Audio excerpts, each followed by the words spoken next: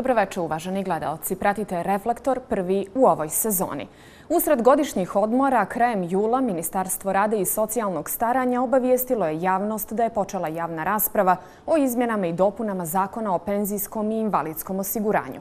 Vladini prijedlozi da je za punu penziju potrebno ispuniti oba uslova, 40 godina staža i 65 godina života, te da će se zaposlenima značajno umanjiti korist od beneficiranog radnog staža i ukinuti računanje radnog staža za koji nije uplaćeno osiguranje, kao što je to, na primjer, staž na birovu rada, ali i drugi stroži uslovi za odlazak u penziju, ujedinili su dvije sindikalne organizacije i avgust za nama učinili vrelijim.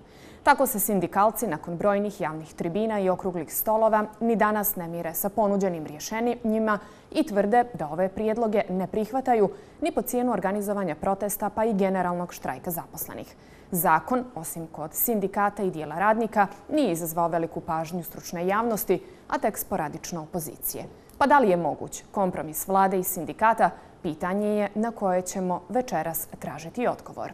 Moji gosti večeras, pomoćnik ministra rada i socijalnog staranja, gospodin Jovo Pajović. Dobroveče i dobrodošli. Dobroveče, hvala na pozivu.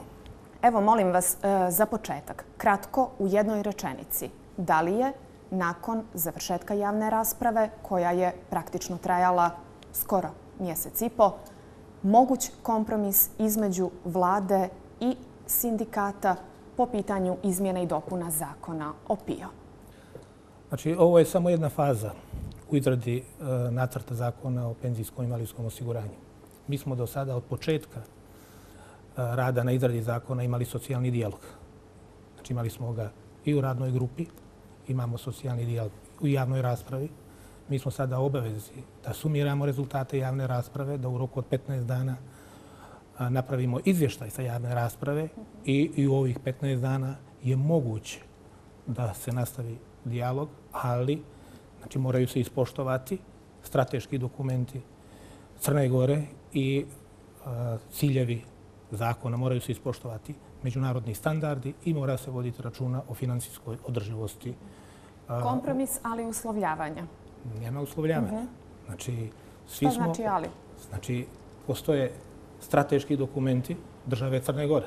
Mhm. Postoje ciljevi koji su dati u tim strateškim dokumentima mislim da svi moramo da ispoštujemo te ciljeve, a to su stabilnost i održivost penzijskog sistema, veća pravednost u penzijskom sistemu, preispitivanje, uslo, preispitivanje uslova penzionisanja koji dovode do privilegija određenih u penzijskom sistemu, sprečavanje ranog napuštanja tržišta rada i ranog penzionisanja i povećanje adekvatnost penzijskih davanja. I da kažem da je ovo samo jedna od faza u izradi nacrta, slijedi dijalog na socijalnom savjetu, gdje opet imamo socijalni dijalog, pa nakon toga zakon se upućuje Europskoj komisiji na mišljenje i na komentare, a nakon toga ide u parlament.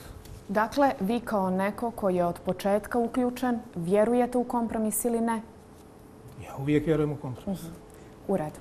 Hvala vam e, što ste e, večeras u studiju Reflektora.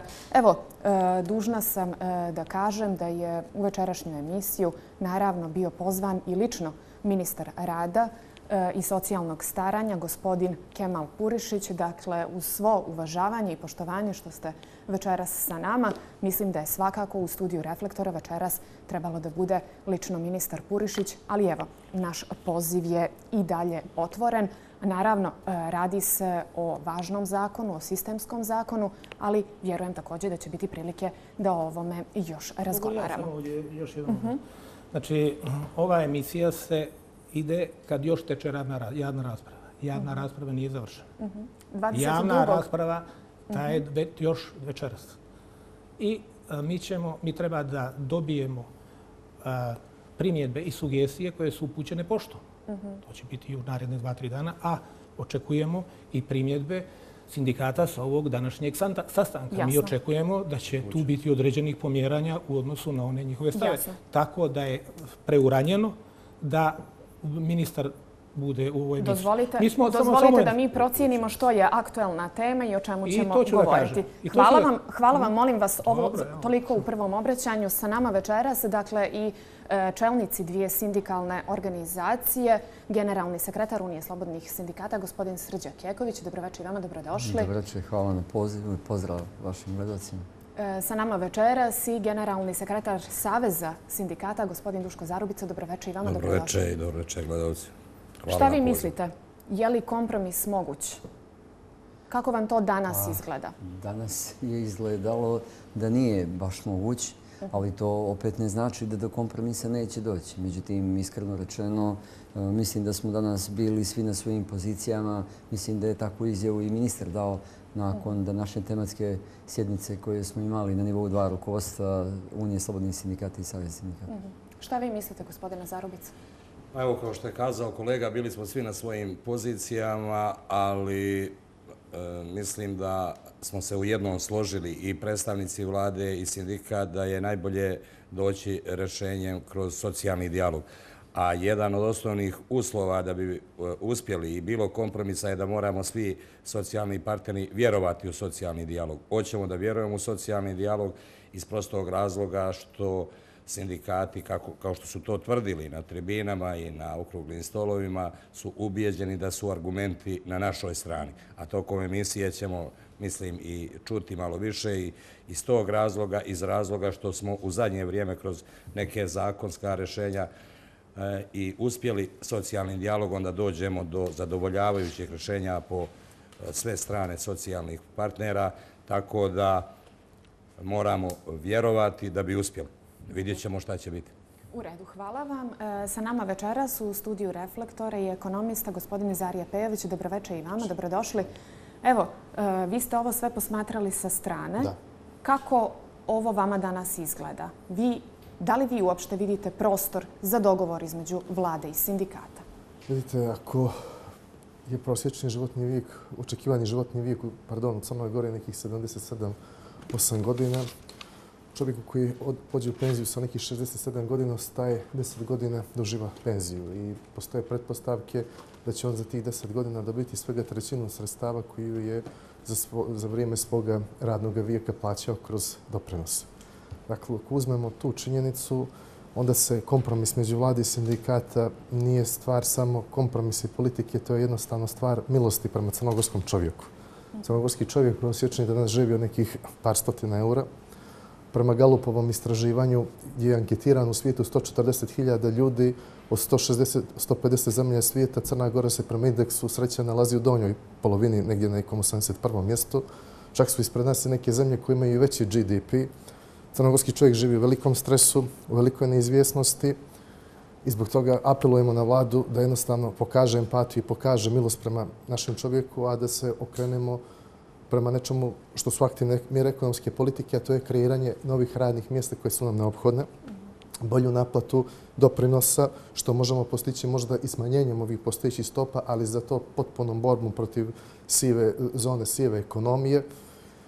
I da na drugoj strani shvatimo da smo društvo velikih socijalnih razlika. Znate, pri čemu, ako dozvolite da konstatujem, mi nemamo progresivno porezko oporezivanje dobiti preduzeća gdje bismo oporezivali krupni kapital, ali za to povećavamo recimo porez na dodatnu vrijednost, pa time dodatno umanjujemo inače kupovnu vrijednost manjih pensija. Pričat ćemo naravno o tome u nastavku. E, evo, predstavnici sindikata pomenuli su da nas je u Podgorici održan, kako prenose kolege novinari, veoma buran sastanak predstavnika vlade i sindikata, pa da čujemo detalje koje prenosi koleginica Ana Miločić.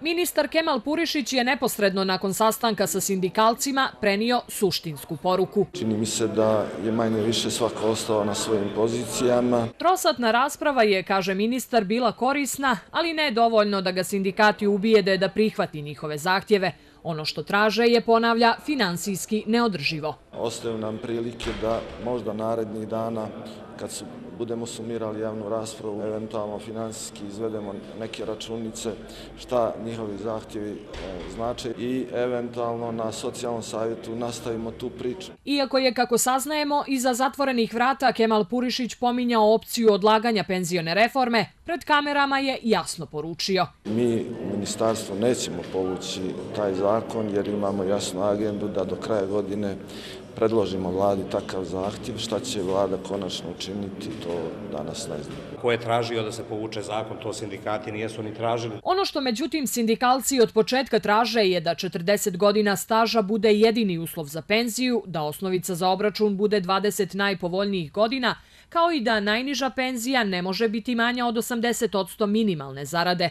Budući da je danas zadnji dan javne rasprave o nacrtu zakona, zahtjeve će definitivno formulisati i poslati kako bi ih ministar predočio vladi. Nakon toga očekuju novi sastanak jer prednost daju socijalnom dijalogu. Loptica je, da tako kažem, u njihovom dvorištu. Mi ćemo, ukoliko u narednih nekoliko dana ne dođe do eventualno do najave da će biti održan taj sastanak gdje bi pokušali da tražimo taj kompromis, u tom slučaju svakako krenuti u naše paralelne aktivnosti i socijalni savjet, naravno neka radi svoj, e, svoj posao na tu temu. Kao neke od mogućih aktivnosti, sindikati su nedavno najavili proteste ili generalni štrajk. Od ustajanja poručuju nema. Mi pričamo o generalnom štrajku kao mehanizmu ukoliko nakon sakupljanja potpisa za podnošenje predloga za raspisivanje referenduma na ovu temu, Skupština ne uvaži naš predlog i eventualno taj referendum ne raspiše, pri čemu računamo da ćemo skupiti e, više od 10% tih očekivanih potpisa. Dakle, tek nakon toga koraka dolazi ovaj korak koji podrazumijeva taj eventualni generalni štrajk ili protest. Sindikalci su ipak optimisti jer su ministru kažu ponudili ubjedljive argumente da ipak prihvati njihove zahtjeve. I argumentuju su da se akcija nastavi na prihodnoj strani u ovaj, fondu penzijskog i valijskog osiguranja i tako da postane da postane održiv. Ovakav penzijski sistem nikome ne odgovara i ovaj zadnji trenutak ponavljam da građani i građanke Crne Gore učine nešto za sebe. Ukoliko se zakon usvoji u ovoj formi, u penziju će se ići sa 40 godina radnog staža i 65 godina starosti, a prije usvajanja trebalo bi da prođe i briselsku lupu.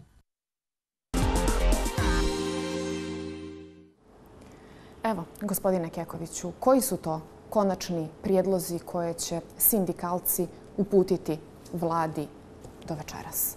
Pa dobro, mi smo ih više puta i pominjali tokom ove javne rasprave, ali tokom tribina e, koje smo mi radili u organizaciji dvije sindikalne centrale. Dakle, prvi jeste da je krajnje neprihvatljivo i neodrživo da se Uh, uslov 40 godina staža osiguranje kao jedini uslov za odlazak u starostnu penziju dodatno uslovi i sa starošću od 65 godina života. To je pod jedan, to ne prihvatamo, to je predlog uh, ministarstva.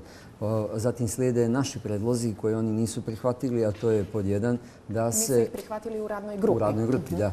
Dakle, pod taj prvi naš predlog jeste da se u buduće kao osnovice za obračun penzije uzimaju 20 najpovoljnijih godina, Zatim smo tražili da se najniža penzija, koja iznosi svega 125 eura, e, utvrdi da ne može biti niža od 80% od minimalne zarade, odnosno da ona penzija koju dobijate za puni E, staž osiguranja za 40 godina, taj koji ide sa 40 godina penzijskog staža, da ne može biti niža ispod 55% od prosječne zarade ostvarene u prethodnoj godini u odnosu na godinu kada taj neko ide u penziju i, i da kažem četvrti, e, taj glavni ili ključni naš predlog jeste da se starostna granica za sve u Crnoj Gori za odlazak u, u penziju smanji na 65 godina za muškarce, a na 62 godine za žene. To je onaj uslov sa 15 godina kumulativni sa 15 godina penzijskog staža, s tim što naravno zakon o radu ostavlja mogućnost da svako ko hoće može da radi u 67. godine, ali ovo je bio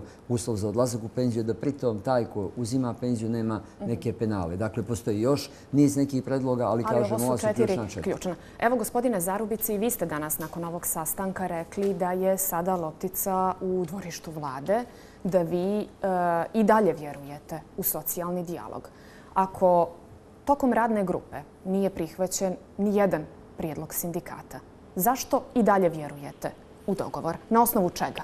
Iz prostog razloga što smo negdje obavezni, a to svi težimo razvijanju socijalnog e, dijaloga i da bi razvili socijalni dijalog moramo da, moramo da vjerujemo u socijalni dijalog. Drugo, već sam kazao u početku da smo već za neka zakonska rešenja upravo u ovoj fazi došli do tih, do tih rešenja. Pa da li vi danas vjerujete da bi vlada mogla odustati E, od ova četiri ključna zahtjeva koja ćete vi uputiti vladi? Pa to su naši zajednički zahtjevi. Mhm. Ja sam, znači, ja i kolega Srđa Keković predvodimo tu akciju, to su zajedničke, dvije centrale, zajednički zahtjevi. I naravno da vjerujem da se zalažemo za te zahtjeve. Samo, evo, malo E, prosto da bi da bi pojasnili danas smo čuli i čuli smo večeras od gospodina e, Pajovića da je održivost fonda, da je pravednost, e, da su to ciljevi. Naravno, mi upravo podržavamo te ciljeve, samo što održivost nećemo i ne vidimo i nije dobro za društvo Crnogorsko da vidimo da se samo održivost postiže kroz rashodnu stranu, da se samo smanjuju i stalno umanjuju prava onih najsiromašnijih, da im se uskraćuje uskraćuju primanja. Nego, mhm. nego e, prosto smo pokazali, mislim da smo pokazali da je fond održiv kroz e, veću naplatu, kroz e, naplatu poreza, doprinosa, ukazali odakle mogu da se naplate borba protiv sive ekonomije, nova rada mjesta. I, e, a kad pričamo o pravednosti, ja evo čitavu crnogorsku javnost pitam da li je dovoljno i da li je pravedno da u ovakvim uslovima, kakvi su uslovi e, rada u Crnoj Gori, da li je dovoljno da jedan zaposleni posle 40 godina rada dobije penziju. Kumulativno sa 65 godina je nespojivo, neodrživo. Pričat ćemo, gospodine Zarubica, naravno kasnije e, detaljnije o svemu. Ja sada samo vas još jednom pitam zašto i na osnovu čega vi i danas vjerujete da bi vlada mogla uvažiti jedan makar od vaša četiri ključna zahtjeva ako do sada to nije učinjeno? Iz prostog razloga e, hoću da vjerujem i vjerujem da ova vlada mora da radi u interesu svojih građana. A da li su ovi zahtjevi, e, ispunjenje ovih zahtjeva, da li su, evo, procijenite vi i čitava javnost u interesu u interesu građana. Da li je da li je u interesu građana se poveća minimalna penzija koja u ovom momentu iznosi 126 eura? Da li je u interesu građana da bude da bude e, jedan e, jedini uslov 40 godina radnog radnog staža? Da li je u interesu e, da li je u interesu građana da bude obračun ovo na 20 godina. Ako znamo, molim vas samo da kažem, ako znamo... Mislim, to su već stvari koje smo mnogo puta do sada čuli. Ali nijeste možda neke detalje čuli. Ako znamo da u našoj e, stvarnosti, da u našoj stvarnosti E, je vršena uplata na minimalnu cijenu rada e, doprinosa koja je iznosila 50 eura i da je čak od tih 50 eura u dobrom dijelu samo 60% uplaćeno, tih 50 eura. Iako znamo e, da jedan veliki broj poslodavaca uplaćuje doprinose na minimalnu zaradu. I naravno, ako nas pitate da li smo mi, tražimo, možda je nelogično, 40 godina, da je uslov zašto nijesmo za svih 40 godina. Kad se stvore uslovi, kad se ove e, manjkavosti otklone, kad e, valjda, svi vjerujemo da neće više biti tranzicija, da idemo prema boljim uslovima života, naravno da će sindikati biti ti prvi koji će kazati da, pravedno, svih 40 godina da se računa, ali trebamo da stvorimo te uslove. I samo još jedan razlog što vjerujem, mislim da je i vlada, kao što smo svi ubijeđeni, i da je mnogo bolje i da, da i Evropska komisija i MOR pozivaju da se sva rešenja e, iznalaze kroz socijalni dijalog i e, mi smo kazali i čuli ste danas od naših kolega da, su, da smo spremni na kompromis, ali zdravi kompromis i na osnovu argumenta da pričamo.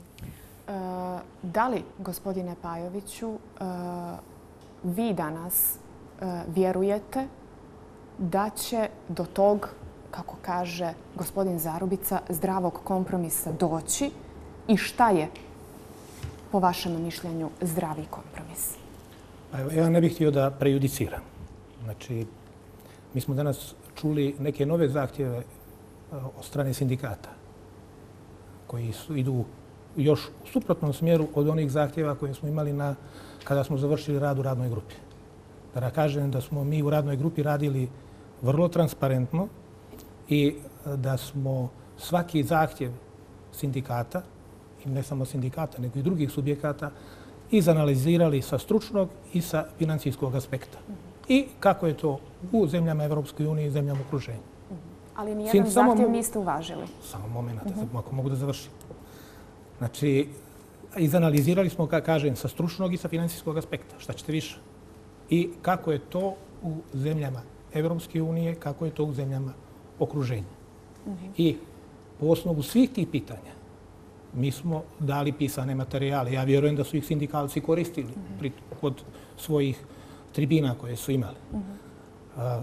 Puno, sve podatke koje su sindikalci tražili u radu radne grupe mi smo dostavili.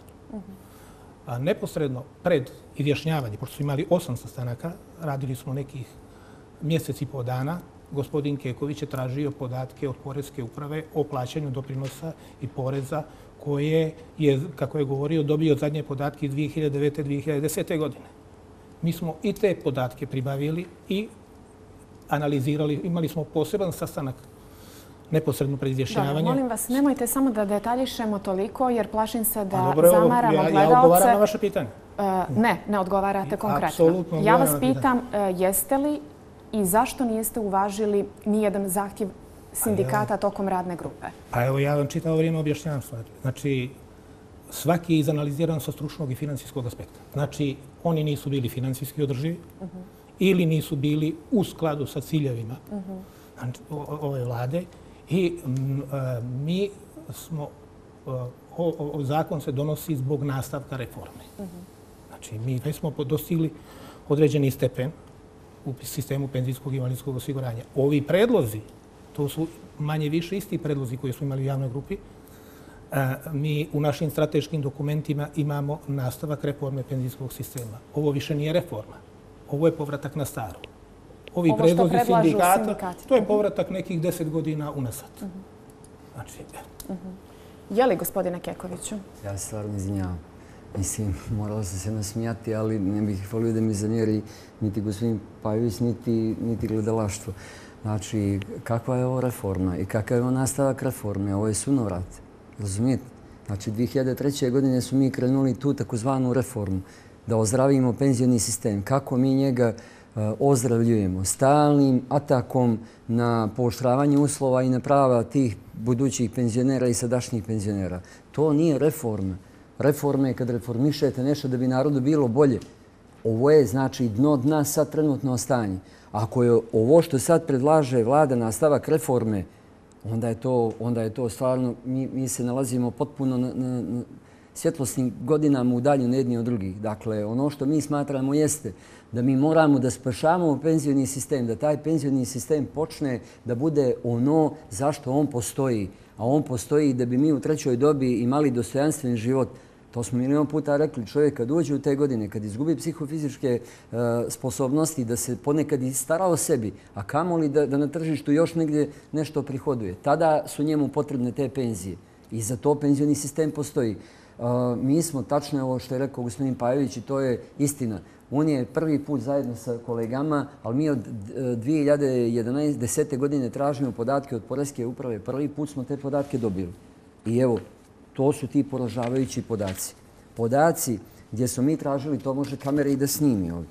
Znači gdje smo mi tražili da se uporede znači, podaci Monstata, gdje mi dobijamo informaciju, to je ova četvrta kolona, gdje dobijamo informaciju da u toku godine prosječno radi od 160, 170 pa čak do 180 hiljada ljudi. Tražili smo da to uporedimo sa Poreskom upravom, koja od 1. januara 2009. godine jedina institucija koja tačno zna koliko ima legalno započnih u Crnoj Gori za koje se plaćaju porezi i doprinosi. I to je ova kolona ovdje u toj koloni, kad ju uporedimo sa podacima Monstata, Monstat raspolaže sa podacima legalno zapošljenih, jer on, Monstat nema podatke, on ima koji su na crno, a takvih je 40.000. Dakle, isključimo njih i dobijemo podatak da 50.000 lica u prosjeku godišnje ne prepoznaje Poreska uprava, a poznaje Monstat. Evo, to je ta kolona. I dakle, vi tu vidite prostor to je samo jedan od mhm. prostora, ali hoću da se vratim na ovu priču. Je li to nastavak reforme? To nije reforma. Znači, mi sad tražimo da se spasi penzijoni sistem, da ga dovedemo svojoj namjeni, da on služi onoj svrsi zašto postoji i, kažem, za to su naši predlozi ovakvi kakvi su i oni ne znače e, korak unazad, nego e, znače ispravljanje nečega pogrešnoga što smo 2003. godine nazvali reforma, a to veze nema s reformom. To veze nema s reformom. Ali čemu se vi danas e, nadate ako Evo, gospodin Pajović kaže da su sve te analize pokazale da vaši zahtjevi nisu pravedni i nisu održivi. Legitimno pravo gospodina Pajovića je da misli tako, ali gospodin Pajović nadam se da me neće demantovati ovdje večeras kada smo pitali predstavnike i Ministarstva financije i Poreske uprave da nam objasne ovo, oni su čutali 10 minuta i ništa nisu progovorili. Znači, gospodin Pavić i ministarstvo i vlade imaju pravo da misle tako. Ovo sluša crnogorska javnost. Ovo je samo jedna od stvari zbog čega mi smatramo da je, da je fond PIO održiv znači i da može biti održiv u budućnosti i sa ovim našim zahtjevima ukoliko hoće institucije sistema profesionalno da rade svoj posao. Mislim da je gospodin Pejović malo prije rekao dio tih nekih mehanizama kako ta mhm. održivost može da se e, dakle, e, stekne ne samo kroz redovnost ove naplate za ovih 50.000 lica, nego sad možda će biti dalje. Tako je, u martu ove godine jedna od preporuka e, Međunarodnog monetarnog e, fonda bila je da se smanji izdvajanja za plate i penzije, te da je neophodna reforma penzijonog fonda koja bi dovela do toga da on postane održiviji i pravičniji. E, kažem jedna od, zato što su se među tim preporukama našli preporuke kao što su smanjenje E, javne potrošnje, odnosno smanjenje plata u javnom sektoru, smanjenje broja javnih funkcionera, kojih, na primjer, na današnji dan u Crnoj Gori ima više od 5000 i tako dalje. Kako smo došli u situaciju e, da se, pa čak i jedan ovako važan sistemski zakon, e, rešava, na primjer, za pola godine, te da li se umeđu vremenu moglo učiniti više, odnosno da li je vlada mogla naći neki drugi način da obezbijedi stabilnost javnih financija. Da. Vidite, prihodi koji dobijamo dakle, na, osnovu, na osnovu doprinosa iznose nekih 300 miliona eura godišnje za finansiranje penzija, dok ukupni troškovi penzije su 400 miliona eura u budžetu, što znači da 100 miliona eura fondu nedostaje i oni se moraju dotirati iz budžeta. Dakle, od 2006. do danas skoro milijardu eura je na taj način dotirano za penzije, a javni dug je već stigao na 3 milijardi 100 miliona eura i pravo da vam kažem, kad tu cifru pomenem, iskreno me malo i jeza onako uhvati. Dakle, nisu penzioneri naravno krivi zbog toga što se povećavao javni dug, već je problem u tome što je kroz penzionisane njenje ljudi nije vršena ta primarna funkcija da se ljudi u starim danima steknu svoju sigurnost socijalnu, već je to imalo i jednu socijalnu funkciju, a to je što su tako rješavani viškovi radne snage. Potpuno na jedan pogrešan način, jer je trebalo kreirati radna mjesta na drugoj strani gdje bi viškovi radne snage iz metalskog sektora recimo prešli u druga preduzeća. 1979. Godine kada je počela tranzicija imali smo 164.000 zapošljenih u Crnoj Gori. 20% je bila administracija. Danas imamo 110.000 ljudi u privatnom sektoru i 60.000 ljudi u javnom sektoru, od čega treba reći nije sve administracijama ljudi koji rade u javnim preduzećima, a moramo i konstatovati da smo 2006. postali nezavisna država, pa smo i morali time povećati administraciju, ali ne toliko. Pored 60.000 ljudi u javnom sektoru imamo oko 120.000 penzionera, je li tako? Onda imamo 30.000 ljudi kojima se daje neka vrsta socijalne pomoći, vrlo interesantno, 30.000 ljudi socijalne pomoći se daje, a stalno imamo tražnju za stranom radnom snagom do 20.000 ljudi dođe iz inostranstva da radi u Crnogoru i tako dalje. Prema tome, moramo isto tako i konstatovati da u zadnjih 10 godina smo imali u Crnoj Gore i strane direktne investicije skoro 7 milijardi eura. 3 milijarde eura smo uvećali javni dug, što je 10 milijardi eura. A za sav taj period mi smo za svega 10 do 13 hiljada uvećali broj radnih mjesta. Sad imamo nekih 175-177 hiljada zapošljenih. Evo neću, ne znam, nisam siguran jesam li precizan. Na drugoj strani, recimo, uzmemo jednu Makedoniju koja je komparatibilna sa Crnogorom jer smo bili među nerazvijenijim republikama u bivšoj Jugoslaviji.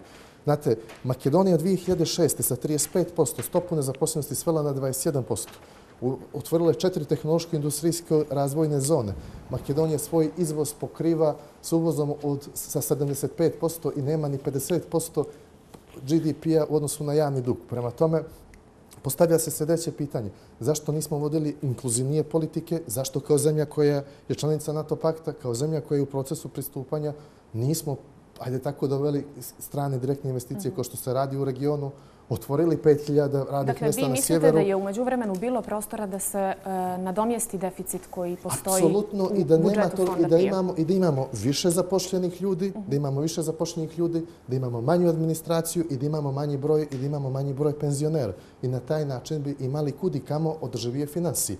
Drugi aspekt koji, bi, koji, se mogao, eh, koji se svakako može voditi, to je ovo što sam pomenuo, to je jedna borba protiv sive zone. Ajde da nađemo da vidimo ako treba neke se i smanje stope u relativnom iznosu za doprinose, ali na drugoj strani da se napravimo jedan socijalni dogovor konačno da se mora ju sankcionisati, odnosno da službe inspekcijske moraju kontrolisati poslodavcu u smislu da oni za puni iznos plate uplaćuju zapošljenima eh, e, porezi i doprinose. Imate situaciju da se neko osigurava na platu 192 eura, prima platu zaradu preko 1000 eura. I onda je to naprosto i neodrživo. A onda posebni nivo priče jeste i sljedeći, a to je što je sa privatnim penzijskim fondovima koji su prije 10 godina u Crnoj Gori trebali da se razvijaju. Evo, uh, vi se, gospodine Pajoviću, ne bavite financijama, ali ste prije dolaska u Ministarstvo rada i socijalnog staranja radili u fondu PIO, je li tako? Tako da odlično znate uh, šta se u međuvremenu uh, dešavalo. Možete li nam večeras reći E, zbog čega vi tvrdite da su, ili na osnovu čega, vi tvrdite da su najavljene izmjene zakona, kako vi kažete, pravedne? Evo, ako ćete mi dati vremena, pošto je ovdje Naravno, vas je četvora, ja sam sam. Samo Tako izvolite. Da, znači, treba nam dosta vremena da izanaliziramo ove predloge sindikata, ali ako hoćete, možemo da idemo jedan po jedan. Ali bi se vratio na ovo što je rekao gospodin uh mhm. -huh. Keković na ovaj izvještaj koji smo dobili od Ministarstva financija od Poreske uprave. Jer koncept gospodina Kekovića je da ne treba raditi reforme zato što ima dovoljno sredstava, a država to dovoljno ne naplaćuje. Mhm. Međutim, mislim da ga je demantovao ovaj izvještaj koji smo dobili od eh, Ministarstva financija. Tu jasno piše da zadnjih godina, ako uporedimo zaduženje i naplatu, Na primjer, u 2017. godini Poreska uplata je imala 115% e, nivo naplate. Znači, više od, od onoga što je zaduženo. Čak neki 62 miliona više. U 2016. 103. U 2015. 104%. U e, 2014. 108%. I, znači, e, nivo naplate je mnogo veći nego što je bio ranije. Slažem se da ima, vjerovatno, u sivoj ekonomiji. Znači ima dosta radnih mjesta koje su još uvijek u sivoj ekonomiji, ali mislim da su namjere vlade da se ta siva ekonomija što više smanji. I ove mjere koje mi predlažemo u penzijskom sistemu su u cilju smanjenja sive ekonomije. I još da kažem da e, ako poredimo podatke o broju lica koja su koja plaćaju doprinos Tako da je u 2017. godini prosječan broj lica koji je plaćao doprinos 164.000. Znači... Ali gospodine Pajoviću, zašto sve ili čemu sve ove preporuke MMF-a, pa i ova e, reforma ili ove izmjene zakona o PIO, ako je vlada tako revnosna kada je u pitanju naplata? Pa kažem... Čemu onda taj deficit? I, e, povećanje je naplate. I smanjuje se deficit fonda pensijskog i malinskog osiguranja. Ali to nije dovoljno. Mhm. Znači, mi ovim mjerama koji predlažemo, mi predlažemo mjere da se duže zadržavaju ljudi na tržištu rada. I tu će da se povećava naplata doprinosa. Onda jedna mjera o kojoj niko ne priča. Znači, sindikat je sve mjere koje smo mi predložili A na osnovu čega vi tvrdite da će e, biti naplaćeni ti doprinosi ako ni do sada nisu naplaćeni? Pa ja kažem da, su oni, da se oni dobro naplaćuju za sada. Šta znači dobro naplaćuju Pa, ako cifra znači pokazuje dobro, da ako je- 50.000 ako za je 50.000 stepen naplate- ljudi se trenutno ne Ako je naplaćuje? stepen naplate u 2017. bio godini 115%, ako je za, u odnosu zaduženje, u odnosu na zaduženje naplata bila veća da 62 miliona eura. Znači, to je vama dovoljno dobar pokazatelj da će u ja hoću budućnosti da to kažem samo da raste. ova, ovo što govori gospodin Keković, da mi ne treba da vr- vršimo reformu zato što ima para, a država dovoljno ne plaćuje. Vjerovatno tu ima još prostora, Mhm. ali je mnogo efikasnije u zadnjem periodu nego što je bila ranije. Ali Ovdje se uključujem. možete naravno. Znači, je prva, se, Izvolite. Znači, Prva, prva stvar, e, gospodin Pajović govori o periodu kada, su, kada je Poreska uprava dozvolila da se nagomila poreski dug na 900 miliona eura. Čemu mi priča? 900 miliona eura. Zato je krenuo onaj zakon u reprogramu, pa sad slavimo što naplaćujemo 20 miliona mjesečno, a otpisali smo koliko? 700 ili 800, ne znam ja. Znači, katastrofa. Da ne, mislim, e, to sluša crnogorska javnost. O tome nećemo pričamo, nego ajmo mi da gledamo u budućnost, da mi ne gledamo prošlost. Mi ponavljamo, prostora ima. Znači da se penzioni fond učini održivim sa ovim svim što mi predlažem. I to baš održivim, da se ne dotira iz budžeta. A što je ako se dotira iz budžeta? To su narodne pare. To narod izdvaja, mi, porezki obveznici. Dakle, budžet postoji da bi vlada upravljala u ovom državom u korist naroda. Ako treba da se dotira, nek se dotira. I u Sloveniji se dotira taman toliko iz budžeta za njihov penzijani fond koliko mi ovdje. Ali samo da kažem nekoliko stvari zašto smo mi odbili ove predloge koje je dala vlada, govorim od dva sindikata, i da kažem zašto mi to ne smatramo reformom više, nego sunovratom. Prva stvar i ključna stvar, Crna Gora gomila nezapošljenost, 45.000 lica je zvanično na birojima. Naravno, to je posle friziranja svih ovih mjera kako bi što više njih skinuli sa te liste, ali mi, obilazeći opštine, došli smo do podataka dakle, da u opštinama ljudi napuštaju Crn, ka- napuštaju Crnu Goru, pogotovo mladi ljudi i taj trend će da bude još veći kada uđemo u Evropsku uniju i mi moramo panično da otvaramo ta nova radna mjesta, da zadržimo tu mladost, da nemamo taj odliv, odliv mozgova, jer ova Crna Gora je mala, 623.000 stanovnika. Dakle, jedi, jedan od načina, pošto evo nema fabrika, nema stranih investicija o kojima je govorio gospodin Pejević, jedan od načina prirodni jeste da omogućimo da stari ljudi idu uh, u penziju i da otvore nova radna mjesta tako za te mlade ljude. To je jedan od ključnih razloga. Drugi razlog, rekao sam na početku, penzioni sistem u ovom trenutku ne odgovara svojoj namjeni. To je kao da imate auto, imate ga, ali ne možete da ga vozite zato što u njega nema goriva ili je pokvaren. Što će vam penzija koja vam ne daje ono što, što treba?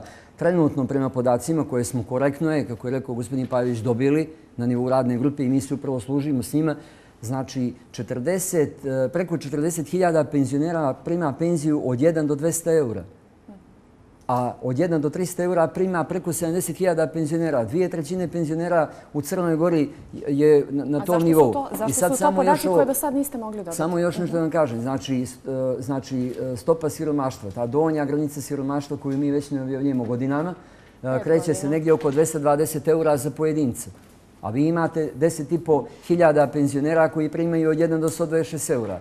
I imate novih 30.000 od 126 do 200 eura. Pa oni su svi ispod te stope siromaštva. Pa što će nam takva penzija? Dakle, mi moramo zajedničkim naporom i tu očekujemo ovo što je kolega Zarubic rekao. Tu očekujemo da to vlada prepozna sama. Naravno, ako ne prepozna sama, pozivamo građane. Pozivamo građane da nam pomognu, da ubijedimo vladu, da prepozna što je interes ovoga naroda. Pa ako treba da se dotira iz budžeta još, nek se dotira. Ovaj narod treba da živi. A zar vi Crna Gora je država zar vi socijalne pravde. očekujete od onih koji su donijeli takve zakone, od onih koji tolerišu Očekujemo sivu da shvate ekonomiju? da su pogriješili tada. E, Danas smo rekli, izvinjavam se samo, naravno. evo završit ću. Danas smo rekli pred ministrom i bila je jedna veoma e, kvalitetna e, diskusija i bio je jedan ključni moment. Ja mislim da je i sam ministar sa saradnici mogao da čuje neke nove stvari, ali ta priča da nas Evropska unija i Evropska komisija uslovljavaju da mi moramo ovo da radimo, ta priča nije tačna. Znači, mi imamo primjer Poljske koja je shvatila da je povećala starostnu granicu na 67 godina preuranjeno, da je time zatvorila tržište za mlade i vratila je starostnu granicu na 65 godina. I nikakav problem nije. Poljska je članica Europske unije. Dakle, vrlo je važno da pričamo argumentima i vrlo je važno da krenemo jedan put da uradimo nešto što je interes ovog naroda. A u interesu ovog naroda je da je zadnji trenutak da ovaj penzijoni sistem postavimo na prave noge, onako kako on treba da služi narodu, a ne... Evo, dozvolit ću vam. Mogu li ja... Samo na... Dozvolit ću vam, dozvolit ću vam. Srđe otvorio tri, četiri pitanja i dok se završi čitavi krug, bit će još deset, pitanje što ste pitali upravo, jedno pitanje. Evo recite, evo recite, evo recite. Pitali ste gospodina Pajovića o pravednosti. Sad, zadnje pitanje, pa je otišlo u drugom. Ja vas molim, po kom osnovu je pravedno da čovjek koji radi 40 godina i ima 65 godina može u penziju. A čovjek koji radi isto 40 godina, iste pare uplati, ima 64 godine života, ne može u penziju. E, e, hoćete mi samo e, povezati i održivost sistema i pravednosti. Znači, ima 65 godina, 40 godina je radio, ok, može u penziju. 40 godina ima staža, iste je sredstvo uložio, ima 64 godine, ne može u penziju. Evo, gospodine Pajoviću, ja sam vas pitala na osnovu čega ste e, došli e, do zaključka da je 40 godina e, radnog staža i 65 godina starosti pravičan uslov za odlazak u penziju. Evo, odgovorit ću, ali moram da demantujem neke stvari koje je rekao gospodin Keković. Znači, on je naveo tamo jedan ogroman broj penzionera koji primaju penziju ispod 125 eura. Znači, penzije ispod 125 eura i 63 centa nema. Znači, postoje samo srazmjerne penzije. To su penzije gdje naši osiguranici imaju dio staža u Crnoj Gori i dio staža u inostranstvu. I oni ostvaruju za uslov, za penziju se sabiraju periodi osiguranja, ali se visinu penzije određuje svako na osnovu svog penzijskog staža.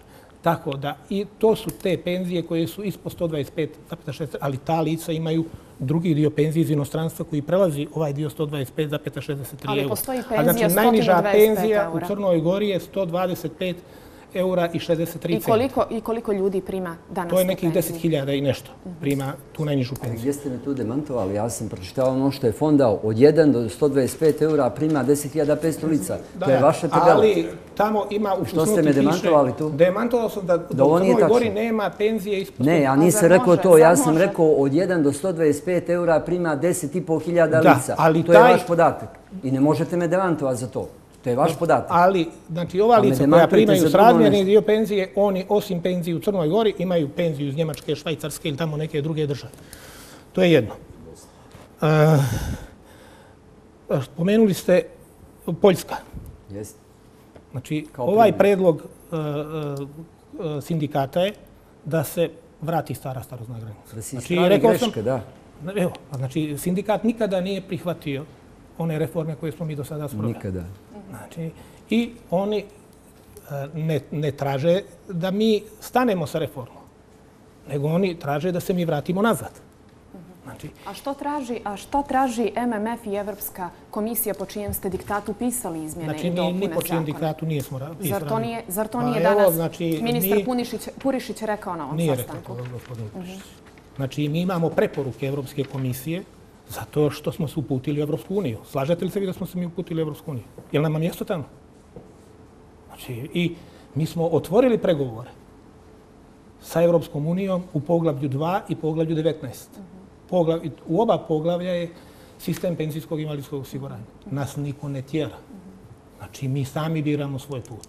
Ako hoćemo da poštujemo preporuke, a ako nećemo, evo, zato mi moramo Znači, e, Evropska komisija je skenirala naš penzijski sistem kad smo otvorili pregovore u pogledu 2 i pogledu 19. Mi dobijamo preporuke od njih.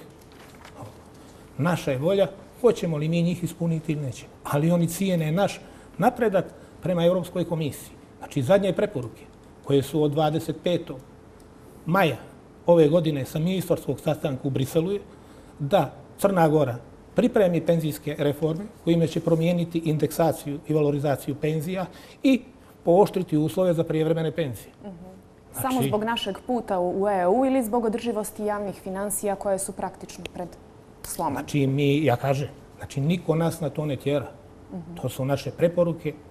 To su preporuke koje mi dobijamo. I vi zaista vjerujete da su ovo e, najpravednija moguća rješenja? Pa evo ja ću dokazati ako treba su ovo pravilno rješenje. Ali da analiziramo jednu po jednu preporuku. Da, jedno pa mi po ne možemo večeras Pa je, školski pa čas dobro, da pa držimo je- o tome. Vi ste do sada imali priliku da, da pričate o tome. Mogu li samo jedno pitanje gospodinu Pajoviću? Mogu li pitanje gospodinu Možete, izvolite. Znači, od nas ste bezbroj puta čuli, bezbroj puta čuli da je Crna Gora potečala sa tom starostnom granicom u odnosu na Evropsku uniju. Znači, rekli smo vam, tehnološki uslovi u kojim rade naši radnici, rekli smo vam, e, životna i radna sredina. Jel tako? Rekli smo vam, e, ta... koja je to kojoj Izvinjavam se, samo evo, moje pitanje, ta kultura radnih odnosa, po kojoj kulturi naši radnici rade po 10 sati dnevno, nemaju slobodan vikend dan, nemaju godišnje odmore. Znači, e, i i kazali smo vam također da ne možete porediti našeg radnika u uslovima u kojima živi i radi, pri čemu još preko tri godine i više živimo kraće nego jedan prosječni evropljanin i da vi nas postavite na 67 godina kao neke zemlje, a recimo Japan, ne uzeću Japan, trenutno 62 godine muškarci, 61 žena i njihova stre- strategija je da 2030. izađu na 65 godine i to je plafon, a vi nas gurate ispred svih. Znači, hoćemo to pojašnjenje, vrlo je bitno za nas. Evo, odmah ću da Znači pojasnim. da kažete što to Crnogorci treba da rade 67 godina, a ostali u Evropi mnogi završavaju sa 65 ili manje. Eto, pitanje, vrlo Znači, ovako, jednostavno. I još prvo, nešto, samo prvo još da ovo. završim Poljskom. jer Evo još samo ovo, gospodine Pajović, samo još ovo, vrlo je važno, mislim da je važno. Govorimo o prekovremenom radu i svi smo svjesni toga, dakle naši najbliži, svjesni smo toga da rade prekovremeno i da se to ne plaća. Zašto država ne poštri te uslove? Zašto ne natjera poslodavce da ako im je potreban prekovremeni rad, zašto ne zaposle novu radnu snagu, nego kori- izrabljuju te, tu postojeću čas, opet kažem, onim časnim poslodavcima koji poštuju 40-satnu radnu nedelju, a to su, vjerujte mi, sad postali Koliko je, koliko je uopšte produktivan e, radnik sa 65 godina e, s- starosti i 40 godina radnog staža? A mislite vi da nije produktivan, jel? Ne, ja vas pitam. Koliko? Vi vjerovatno znate koliko je Pa, produktivan, vjerovatno ste negdje kažem. izračunali koliko znači, je a, produktivan. Ne možete vi sa tržišta rada da skinete neku kategoriju lica, vi ćete narušiti kvalitet tržišta rada ako skinete te ljude koji mislite sa 65 godina da oni nisu produktivni. Da li je znači- jedan policajac u punoj radnoj snazi sa 65 Jedno je godina? kad govorite o nekoj fizičkoj aktivnosti, a drugo je kad govorite o nekim intelektualnim i drugim sposobnostima. Jeste li Ali- vi te razlike prepoznali u ovim izmjenama i dopunama? A, Samo a, da ja nastavim. Što, Samo vi da meni odgovorite na ovo pitanje. Jeste li vi te razlike prepoznali u ovim izmjenama i dopunama zakona? Znači, a, mi smo generalno, znači, ovdje je velika zabluda da je 65 godina života i 40 godina staža jedini uslov za penziju. I da je velika zabluda da je Crna Gora već na starosnoj granici od 67 godina života. Nije. Znači, Crna Gora na 67 godina života dolazi za ženu tek 2041. godine. Za muškarca dolazi tek 2025. godine. Nama u ovoj godini muškarci idu u penziju sa 65 godina života i 10 mjeseci staža. Žene idu sa 61 godinom života i 3 mjeseca staža i sa svega 15 godina penzijskog staža. U prijevremenu penziju se ide sa 62 godine života i 15 godina a, penzijskog staža. Žene idu također u starosnu penziju sa 56 godina i 3 mjeseca života i 36 godina i 3 mjeseca. Vi sada pričate o usklađivanju ovog zakona u narednom ja hoću da periodu. kažem da postoji široka, širok spektar prava, znači da nije jedini uslov 65 godina i 40 godina staža. Znači nama je trenutno, uz ove uslove koje imamo, 40 godina, a, 40 godina staža bez obzira na godine života. Mi sada propisujemo, ali ne odmah, nego u prelaznom periodu. Prvo, 61 godinu života, u, to je u 2019. godini i 40 godina, 40 godina staža osiguranja. U sljedećoj godini je 62 godine života i dolazimo tek 2023. godine na 65 godina života i 40 godina staža osiguranja. I ključno, za- znači, da u penzijskom sistemu svi treba da ostvaruju pravo na penziju po istim uslovima. Svi treba da idu sa istom starostnom granicom na penziju. Mi smo starostnu granicu za ovaj puni staž pustili sa 67 godina na 65 godina života, znači spustili smo se za dvije godine. E, I Niste se spustili, je... to nije postojalo. Je A dobro, uh -huh. dobro. Znači, ali znači, samo moment. Ako je postojalo, možete da se spustiti, nego ste uveli to. Da, da ali smo imali opciju. Mi smo, znači, pošto već postoje uslovi, 67 godina života koje sam ja kazao tek u prelaznom periodu i postoje uslovi za prijevremenu penziju, koja je sa svega 62 godine života. A koliko im uzimate? 4, nešto posto im umanjujete po godini, od, od, od, odbijemo. Od, od čega im odbijate? Ali, od ničega? Ali, kažem, da svi sa istom starostnom granicom treba da idu, u, je, li to, je li to ravnopravno? Dakle, uh, oni koji danas imaju 30 godina, njih će sačekati sve ove uh, izmjene koje planirate da usvojite. Ovi koji imaju 30 godina, njih čeka prijevremena uh -huh. penzija sa 62 godine života. Uh -huh.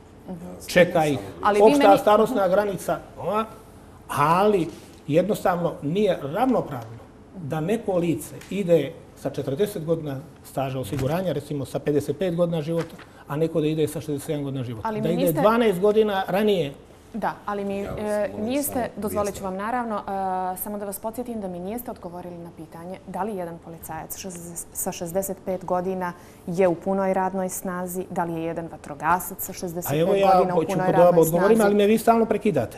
Znači, e, za ova lica koja rade na beneficiranim radnim mjestima, nije starostna granica 65 godina života. Nego? Njima se starostna granica snižava za, zato što rade na beneficiranim radnim mjestima i snižava se s razmjerno vremenu provedenom radu na radu na tim beneficiranim radnim mjestima. Uh -huh. Na koliko? koliko godina? Koliko mora da ima godina? Vatrogasac koji je radio čitavo vrijeme beneficirani radni staž, koliko godina mora imati po ovom predlogu? Znači, 50, mora će da ima 58 godina. 50, mogu li samo da... 58? A ko je? Vi mislite da on adekvatno može da odgovori zadacima sa 58 godina? Dakle, vatrogasci imaju svoju zdravstvenu komisiju i mhm. sve ta lica koja rade na takvim poslovima imaju zdravstvenu komisiju koja uvijek koja svake godine pregleda njih. I šta ako im komisija kaže da nisu sposobni da rade, šta onda? Još gore, mogu li da dobijem riječ? Ako kaže, onda oni treba da se raspoređuju na drugo radno mjesto. Ako kod njih postoji invalidnost, oni idu u invalidsku pensiju. A koje je drugo mjesto, na primjer, u nekoj vatrogasnoj službi? Pa dobro, to je zavisno od sistematizacije koje tamo imaju. Pa mogu li vatrogasci biti pravnici u vatrogasnoj službi, na primjer? Ne mogu biti pravnici. Šta mogu da rade ako nisu vatrogasci? Mogu da rade nešto što je adekvatno njihovo, to oni imaju u svom to oni imaju u svom zakonodavstvu. Izvolite, možete. Dvije, tri stvari, vrlo konkretno. Kažete, bili ste darežljivi, smanjili ste nam 67 godina i 15 staža, sad na 65 i 40 godina staža. Prvo, što je rekao Keković, nijeste smanjili, ali znači ako smo imali uslov 67 godina i 15 radnog staža, a sad 65 i 40 godina staža. Nismo imali 67, jer još nismo došli na tu starostnu granicu. Dobro, ja vas molim, ali ćemo, evo težimo, težimo da dođemo. Dobro, rekli ste, samo malo, rekli ste produktivnost. Dobro ste pomenuli produktivnost. Vi znate da svi poslodavci, posebno kapital je neumoljiv, traži produktivnost. Da li može da bude produktivan? Sa 65 godina, ugostiteljski radnik, trgovac, građevinar, medicinska sestra, da ne pričamo, sve ne pobrajamo, I šta će se desiti kad ne može taj od 65 godina da ispuni normu? I molim vas, konkretno za vatrogasce. Zakon o vatrogascima kaže da on vatrogasac može biti i raditi, zakon to kaže, do 55 godina života. Posle toga je obaveza ako ima odgovarajuće radno mjesto. Ako ima, šta ako nema? I kažete sami treba 58 godina da radi. Vi pominjete sada vatrogasne, ali vjerujem da je slična situacija i za policajce i za rudare. Prisjetimo se samo nazad dvije sezone. Koliko su imovinu spasili vatrogasci? Živote, da ne pominjem. Imovinu. Koliko za jednu godinu spase? Za jednu godinu koliko spase imovinu? Ali znači, e, vi ste propisali, znači, po mora da radi 58 godina. Zakon kaže može da radi do 55. Šta da radimo sa tim čovjekom od 55 godina? A, ako nema odgovarajuće radno mjesto? Je li on postaje, ide na biro, postaje socijalni slučaj? Dobro, a što ćete da radite s pilotom? Znači, pilot uh, ima, radi do 50 godina. Mislite li da pilot sa 50 godina treba da ide u penziju?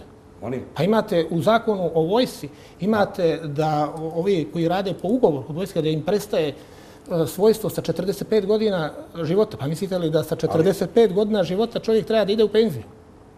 Znači, e, da, da, penzijski sistem je penzijsko i invalidsko osiguranje kao i svako osiguranje osiguranje na osnovu određenih rizika. Rizici penzijskog i invalidskog osiguranja su starost, invalidnost, smrt, tjelesno oštećenje. Znači, ako nema starosti, ne može čovjek da ide u, u starostnu penziju. A šta da radi? Pa, šta da radi? Pa, nije to pitanje penzijskog sistema. To su rizi, rizici nezaposlenosti, tehnoloških višaka, viškova, neraspoređivanja radnika to nisu rizici koji se rešavaju u penzijskom sistemu. Ali da odgovorim na ovu odredbu... Ja vas molim, nisam pa evo ja, pa ja, molim vas, ja, molim vas, želim samo... Ja, ja pokušavam svo vrijeme da odgovorim. Znači, Pola minuta, pokušavaš, ali sačekajte. Drugo, znači, vi ste rekli da u zakonu o zaštiti i spašavanju postoji ta norma da njima prestaje svojstvo sa 55 godina. Tako. Ko je predložio tu normu? Kažite mi ko je predložio tu normu. Pa je li sindikat? A znači, tu normu nije predložila vlada. Ko donosi? Znači, ko je, ko je predložio A evo i ja pokušavam, ali ko će da me pusti da pričam. Ko je predložio? Pa molim vas, mislim da, da, da, da previše vremena trošimo na ove stvari koje, koje ste vi dobrim dijelom ispričali na svim javnim tribinama. Ja hoću da objasnim. Znači, to nije bio predlog vlade. To je bio predlog lobiranja kod poslanika i amandmanskog djelovanja. I onda je predložena ta norma da im prestaje ovaj, svojstvo vatrogasa, služba vatrogasa sa ti 55, što je pogrešna norma. I sad se traži da se ta norma briše. Koju je vlada iskarikirala. Molim vas, Evo, može se jedna rečenica. Vlada je nije predložila. Pola rečenice. Znači da ne bi ispalo da sindikati traže da neko ide sa 30, sa 40, ne znam godina. Kad pričamo o vatrogasima, on počinje, sad može da počne najkasnije sa 25 godina da radi. I ako radi 30 godina sa svojim beneficijama, to je 55 godina. I on, zato i tražimo, između ostalog, da je samo 40 godina uslov. Znači, on punih 40 godina radi. Jer on ima svako 4 mjeseca i ako radi 30 godina na tim poslima, on već ima 40 godina radnog staža sa beneficijama. I ne tražimo mi za vatrogase i ove slične da oni idu sa 30, 35 ili 40 godina, nego sa sa punim radnim stažom. Jasno. Gospodine Pejoviću, e, evo i gospodin Pajović je večeras e, pomenuo, iako ja e, imam informaciju od kolega da je ministar Purišić ipak na ovom sastanku danas rekao da su i tekako i Brisel i MMF uticali kada je u pitanju pisanje preporuka, odnosno pisanje ovih izmjena i dopuna zakona o PIO. Gospodin Pajović tvrdi da nije baš tako. Ipak, da li nas obavezuju preporuke MMF-a i da li je ovo bukvalno e, spašavanje e, javnih financija koje više vlada Crne Gore ne može da odlaže? Vidite ovako, gospodina Porišića lično poznajem, jer smo bili kolege poslanici u sazivu Crnogorskog parlamenta i mogu iskreno reći da se radi o razumnom čovjeku i sa moralnim integritetom koji potpunosti razumije argumente sindikata. Ali na drugoj strani moramo e, kazati i sljedeću u stvar. MMF daje preporuke. Vidite, preporuke možete da ne usvojite, ali MMF može da vam obore kreditni rejting. Mhm. Ako vam MMF obore kreditni rejting lošom prognozom, onda je država u problemu. Znate, jedna Grčka je krenula u krizu javnog duga sa 1200 eura penzije, pa se spustili do 600 eura i to je bio krajnji limit. Mi imamo prosječnu penziju 270 eura i one su bastion koje mi moramo da branimo kako znamo i umijemo. Mhm. Ali u ovom slučaju ipak preporučujem vladi da uvaži, uvaži mišljenje sindikata. Iako je Crna Gora danas prilično, onako da kažemo, apatična, mora se pokazati jedna empatija prema, prema, prema sindikatu i prema potrebama prema potrebama građana. I ono što bih se nadovezao na gospodina Kijekovića, u Japanu postoji 70.000 ljudi koji imaju preko 100 godina života. I u Japanu se ne pokazuje problem održivosti penzionog fonda zbog toga što neki ljudi preko 50 godina uživaju penziju. U Japanu se pokazuje jedan drugi problem, a to je prenaseljenosti njihovog prostora. Japan nema prirodne resurse, Crna Gora ih ima. Ali opet Japan živi mnogo bolje, mnogo im je veći kvalitet života, što samo pokazuje da bogatstvo jednog naroda ne dolazi od resursa, već bogatstvo jednog naroda dolazi od dobrih javnih politika koje u budućem periodu moraju biti inkluzivnije nekako. E, vi, vi ste, gospodine e, Kekoviću, e, više puta govorili o tome koje su dalje aktivnosti koje mogu preduzeti sindikati. I danas ste pomenuli da očekujete neki novi datum za neki novi sastanak. E, imate li neku informaciju više o tome i šta vi očekujete? Da prije toga samo mhm. kratko da komentarišem. Možete naravno znači, odgovoriti još. Ja sam rekao gospodinu Pajoviću da priču oko toga da su sindikati tražili 55 godina za vatrogasce ostavi po strani jer je nikad ne dovrši do kraja. Jedan dio priče je tačan. Od 2007. godine mi tražimo da vatrogasi sa 55 godina idu u penziju, jer ti ljudi psihofizički preko 55 godina ne mogu da rade. I takav je predlog bio strukovnog sindikata vatrogasaca. Ali na taj predlog su dodali činovnici vlade da prvo nije to penzija, nego da idu na tržište rade, što nije ono što su mi tražili. Tražili smo da se taj član briše, nije izbrisan. Kod ministra Uh, unutrašnjih poslova na sastanku gdje je bio prisutan gospodin Pajović nam je rečeno bit će brisan zato što nije ono što su sindikati tražili ili će biti omogućeno gospodine Pajoviću da tim ljudima jedan odlazak u penziju čišćenju. Tako bilo. Samo hoću da kažem da to nije ono što smo tražili, nego je to dobilo riko. Dobro, dobro. Nego je to dobilo dakle uh, rikošet. Drugo, hoću da završim. Govorili smo o Japanu. A evo, prva zemlja na ovoj listi trenutnih godina za odlazak u penziju u Evropi, evo Austrije. Pogledajte u Austriji, znači je 2033. godine, 65 godina, stiču sada i muškaci i žene, su žene bile na nižoj granici. Evo neka vidi to crnogorska javnost, pa da se poredimo eto s njima, ne sa Japanom, oni su zemlja Evropske unije. Sada se vratimo na ono vaše pitanje. Što mislim da i kolega Zarubica rekao. narednih dana? Znači, danas i bio je taj razgovor sa ministrom, ali on danas nije to mogao da potvrdi dakle, da će do dodatnog razgovora doći. Tako sam ga ja bar shvatio, nije mogao da potvrdi, nije isključio.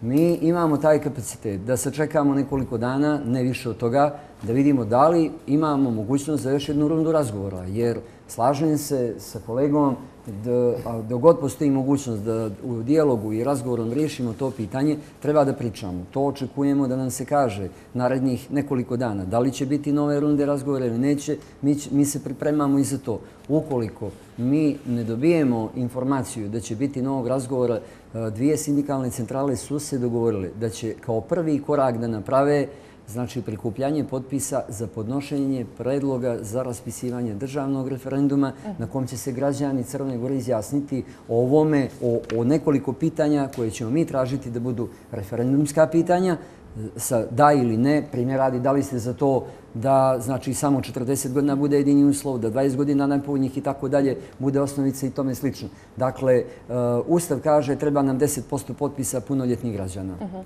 Da li ste vi... I u tom uh, slučaju uh-huh. Skupština, kada dobije taj predlog, a očekujemo da ćemo skupiti tih 10%, uh, ona je dužna da stavi to na dnevni red, ali naravno nije dužna da raspiše referendum, pri čemu će morati da objasni ukoliko to tako bude, zašto neće da raspiše referendum, a ukoliko raspiše referendum, u tom slučaju će se građani izjasniti o tim zahtjevima. E, e, da li dvije e, sindikalne organizacije u ovom trenutku imaju kapaciteta da prikupe tih 50.000 potpisa? Pa, pa evo, ja ću vam, naravno, ću vam direktno odgovoriti, samo radi preciznosti da javnost bude tačno informisana. Znači, danas smo od ministra tražili da imamo ovu jednu rundu još razgovora u narednim danima i naravno ministar je kao odgovoran čovjek, i potpuno se slažem ovaj, sa gospodinom Pejovićem, isto je prema sindikatima pokazao takav odnos u dosadašnjem radu e, e njegovom i razumijevanje i to je onaj jedan možda još od dodatnih motiva koji mi daje negdje e, nadu da će ispak uspjeti ovaj e, socijalni dijalog. Meni i dalje iskreno nije jasno zašto vi to tako... Pa evo, to je jedan od dodatnih, rekao sam, dobro, ko vama nije jasno, ja stvarno ne mogu ništa. Ja pokušavam uporno da pričam. Nije to veliko vrijeme. Mhm. Na kraju se broji šta se uspije da se uradi. Mhm. Uopšte nije veliko vrijeme ako dođemo... A sve prethodne izmjene e, zakona koje nikako nisu išle e, na ruku radnicima.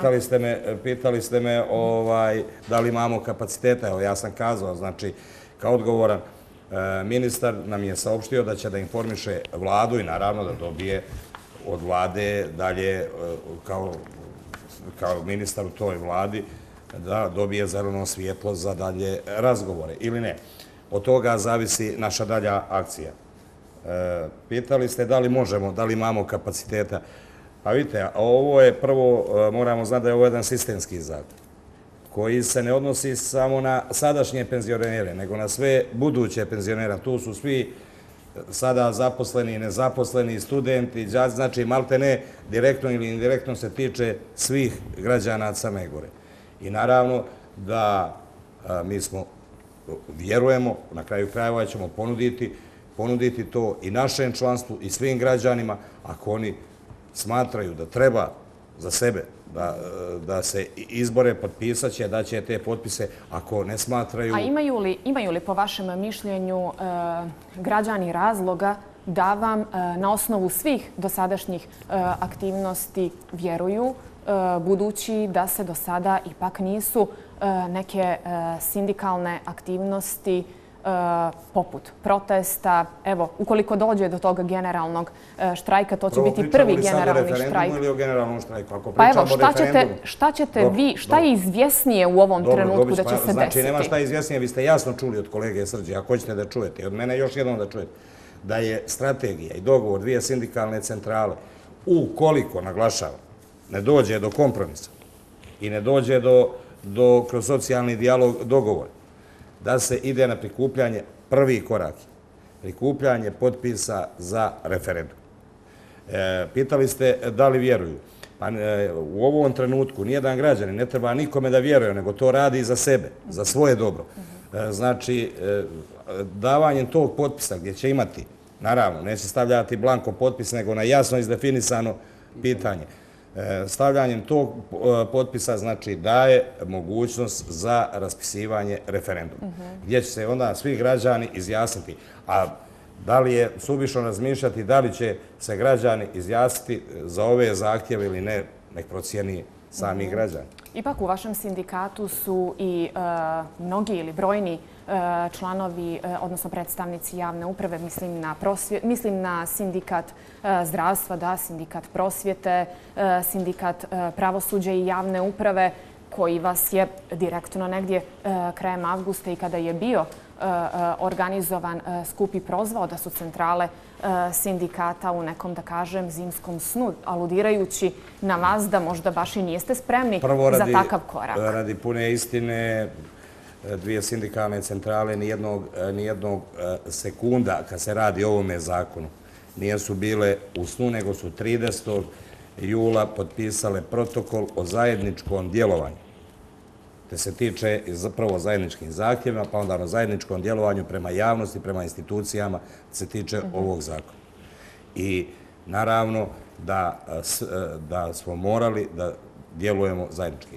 Znači, bilo je E, bilo je možda malo zabune, jer se nije znalo, nije su pojedini kolege znali da li će ovaj e, nacrt, odnosno ići, da li će ovaj nacrt izmjena i dopuna ovog zakona ići prema Europskoj mhm. komisiji ili ne, pa smo ja i kolega Srđa tražili pismeno i dobili smo pismeno odgovor od ministra i naravno potvrdu od svih da ide prema Europskoj komisiji. Znači, mi ne možemo da zakasnimo sa ovim aktivnostima e, koja su prve prikupljanje potpisa, ali imamo sasvim dovoljno vremena. Posle ovih razgovora i e, koje očekujemo, ako vidimo da to neće, pošto ponovo još jednom pozivam sve učesnike da je da i, i potenciram na tome da kroz socijalni dialog možemo doći do najboljih rešenja. Međutim, ako ne dođemo do tih rešenja, mi imamo sasvim dovoljno vremena dok se taj tekst vrati iz Evropske komisije da prikupimo te potpise i predamo. Mhm, mhm. Ali mi smo već nekoliko puta čuli eh, i od predstavnika vlade večeras i drugo, samo izvinjavam se, kako bili bi neozbiljni da postavimo referendumsko pitanje, a da umeđu vremenu to što tražimo dođemo ovaj pregovor da nas iznenadi vlada pa kaže da, prihvatamo to. Vi zaista, vi zaista mislite da bi, vlada, da bi vlada u nekom narednom trenutku mogla reći u redu prihvatamo vaš e, ključni zahtjev i odustaćemo od ovog našeg ključnog predloga, a to su ova dva uslova, 40 godina radnog staža i 65 godina. Šta ćemo e, ipak... Zar, vi, zar niste rekli da je to ipak ključno? Pa dobro, ključno. Hoćete li odustati od tog zahtjeva? Možda vladini ali da, ne, znam, sad ste vi isto otvorili jednu temu vezano za te proteste koji su bili u sred augusta. Dakle, prvo, hoću da kažem da smo mi cijelo ljeto radili jedna i druga centrala i taj protest koji je bio, mi nismo bili protiv protesta generalno u smislu tih zahtjeva i toga. Jasno, to sam samo pomenula iz razloga što su predstavnici tih sindikata već rekli da su oni odlučili i da su spremni na generalni štrajk i na protest. Ali to sluša crnogorska javnost. Znači, nije suština protesta Suština protesta jeste da tim protestom dođete do nečega. Usred augusta mi još uvijek, javna rasprava je bila, mi još uvijek nismo... Jasno, to je druga tema. Dakle, to je druga tema. Nego da završimo ovu priču oko mehanizama. Dakle, došli smo do prikupljanja potpisa i kao što je kolega rekao, potpis će da daju građani koliko smatraju da argumenti o kojima mi govorimo jesu održivi i da oni stvarno treba da daju šansu da se na referendumu izjasnimo oko toga. Oni govore tu o sebi. Mi smo samo mehanizam e, koji smo dužni da im takvu mogućnost otvorimo i mi ćemo je otvoriti definitivno ukoliko ne dođe do kompromisa. Na tom stanovištu smo opredijeljeni i to će biti definitivno tako. Naredni korak, dvije opcije su, ukoliko skupimo potpise, Skupština raspiše referendum, građani će odlučiti. Mhm. Ukoliko Skupština ne raspiše referendum, što je moguća opcija, teoretski, ali ja iskreno mislim da se to ne bi smjelo desiti jer bi trebala da posluša glas naroda. Znači, mi ćemo u tom slučaju razmišljati o protesti o generalnom štrajku. Rekli smo bezbroj puta, u ovom trenutku smo bliži generalnom štrajku. Po prvi put bi se desio u Crnoj Gori. Zašto? Zato što centrale imaju pravo po zakonu o štrajku da raspišu generalni štrajk, a ukoliko ga mi raspišemo kao takav, onda svaki zapošljen u Crnoj Gori, bez obzira da li je član sindikata ili nije član sindikata, ima pravo da se pridruži tome štrajku i da štrajkuje bez ikakvih posljedica. Dakle, tu vidimo šansu da ukoliko budemo morali da uđemo u takav način dokazivanja naših argumenta i dokazivanja vladi da ovo što mi radimo jeste prava stvar, Uh, onda znači mislimo da je generalni štrajk najbolji mehanizam da u tome uspijemo u ovom trenutku. Je li, gospodine Pajoviću, uh, jedan od uh, mogućih ishoda i to da vlada u ovom trenutku povuče izmjene i dopune ovog zakona? Pa vlada neće povući zakon. Mhm. Ali ostao sam dužan pojašnjenje, pošto ste mhm. govorili da možda ja i gospodin Purišić nešto pišamo kontradiktorno. Ne. Znači, mi imamo preporuke i od Svjetske banke, dobijate i preporuke od MMF-a koje su strašno vrlo rigidne, ali imamo i preporuke od Evropske komisije. Mhm. Pošto je nama mjesto u Evropskoj uniji, nama najveću težinu imaju preporuke koje dobijamo od naših evropskih partnera. Mhm. Znači, ali ove, ove naše mjere koje smo mi predložili, to su mjere koje smo mi predložili i koje su umjerene, adekvatne ovom trenutku. Samo da se vratim, pošto par puta ste me prekvinuli, je na primjer Poljske, koji govori e, gospodin Keković. Znači, e, pošto sindikati predlažu povratak na staro. Stara vraćanje starostne granice sa, na 65 godina. Na 65 godina života za muškarca, 62 godine na ženu. Znači, tu predlažu. Predlažu da se obračunski period koji je već došao na 40 godina vrati na 20 godišnje, što strašno financijski košta. U narednih 10 godina preko 200 miliona eura. I mi smo u radnoj grupi navodili primjere da to niko u Evropi nije uradio. Niko nije vratio starostnu granicu. Niko nije vratio obračunski period. Jednostavno dostigli se određeni stepen reforme. E, navodili smo primjer Poljske, da je jedna jedina zemlja i gospodin Keković se uhvatio da taj izuzetak. Znači, svaki izuzetak potvrđuje pravilo.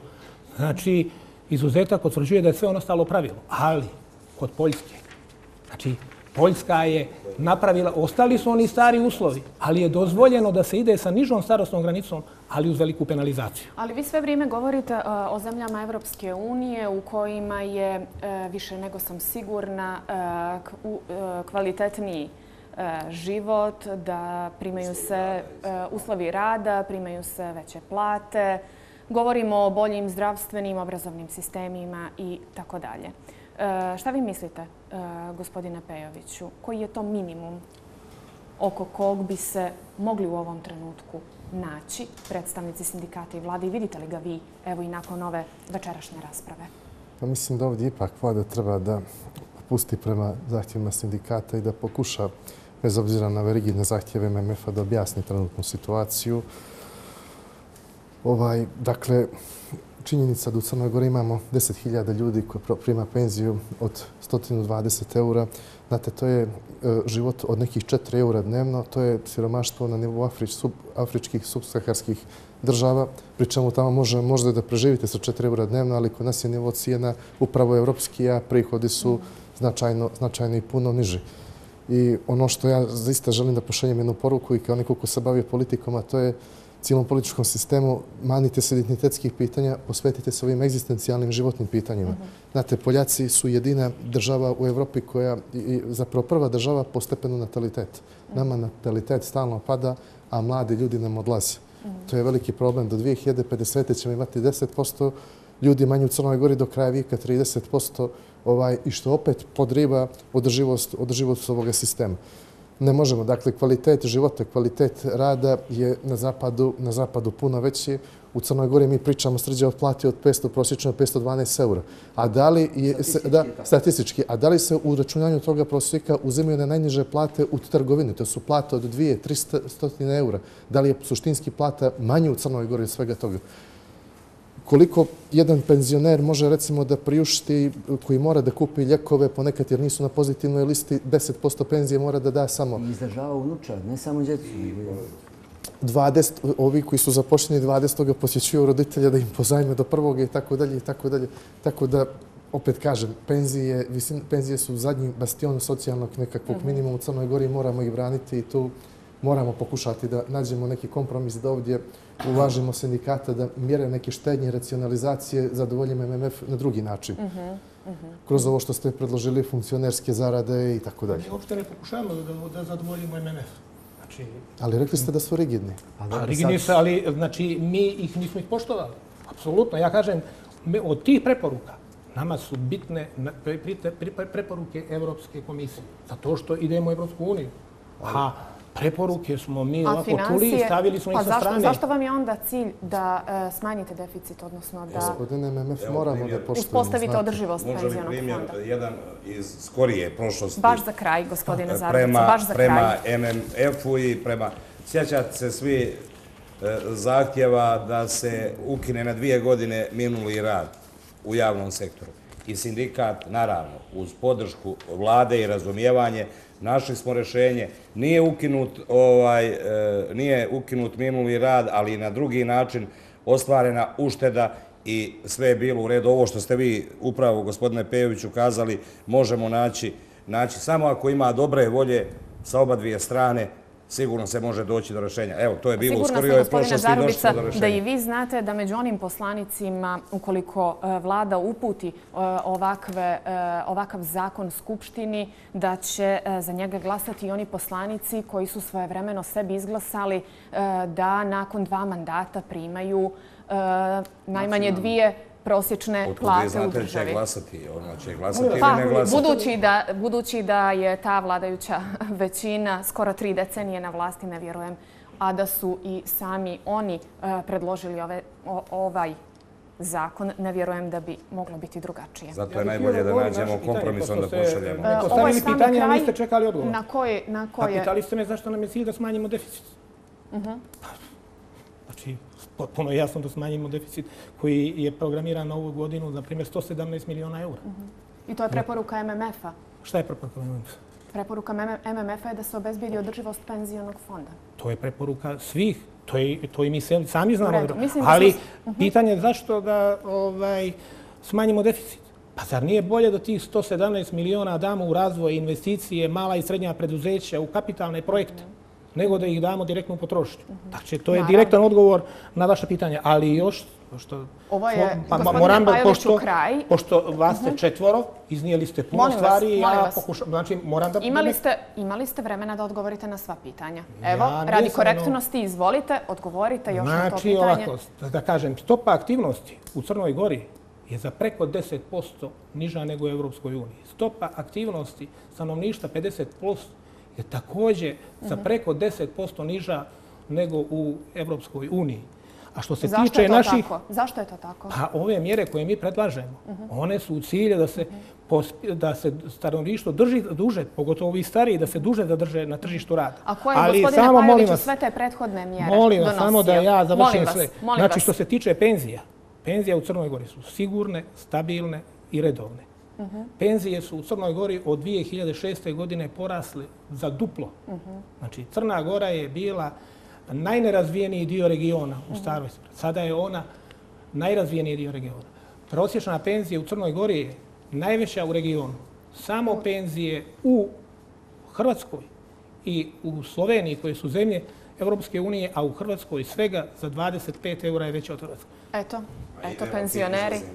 E, izvolite, Srđa, molim vas, samo jedna rečenica i to je kraj. Ja samo da ne bi spalo da manipulišem ovdje, e, kada sam pominjao 65 godina u Poljskoj, vraćanje sa 67, tačno je ta je zemlja pošla, potrčala je naprijed, pa je shvatila da je pogriješila.